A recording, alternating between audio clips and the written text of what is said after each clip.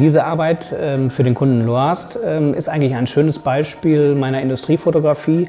Eine Kombination aus ähm, Porträts, aus äh, Momenten aus der Produktion. Bei diesem Projekt, was wir an verschiedenen Standorten in Deutschland fotografiert haben, war die äh, Agentur mit dabei, also der Heiko war mit dabei, hat mitgeschaut, er hat, äh, wir konnten ihm Sachen zeigen. Den Lars kennen wir seit vielen Jahren, auch seine Arbeit. Ich denke, das ist auch ganz, ganz wichtig in der Zusammenarbeit zwischen dem Fotografen und der Agentur und, und auch dem Kunden natürlich dann, dass man das Gefühl hat, jeder bringt den Prozess weiter. Die Aufgabe in einem Industriebetrieb ist immer auch in Bereichen, wo es vielleicht nicht sehr modern aussieht, aber ähm, eigentlich die Produktion doch sehr modern ist, das visuell umzusetzen. Äh, das ist natürlich auch eine Kunst für einen Bildgestalter. Was ich sehr bewundernswert an ihm finde, dass er diese Ruhe ausstrahlt in der Zusammenarbeit. Ähm, Heiko konnte mir eigentlich in drei Sätzen äh, die komplexe Aufgabe erklären.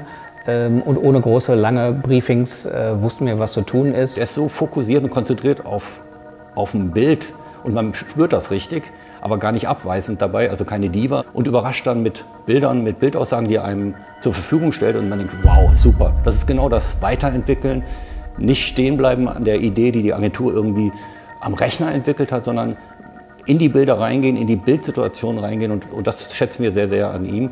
Die Tatsache, dass wir in Schwarz-Weiß fotografiert haben, ähm, kam mir natürlich sehr gelegen. Das eine Art der Fotografie ist, die die Sache sehr reduziert. Man kann sehr grafisch arbeiten. Es ist super modern, weil durch die grafischen Elemente, durch Farben ähm, leuchten plötzlich Schwarz-Weiß-Aufnahmen und man reduziert es eigentlich auf den Kern der Sache.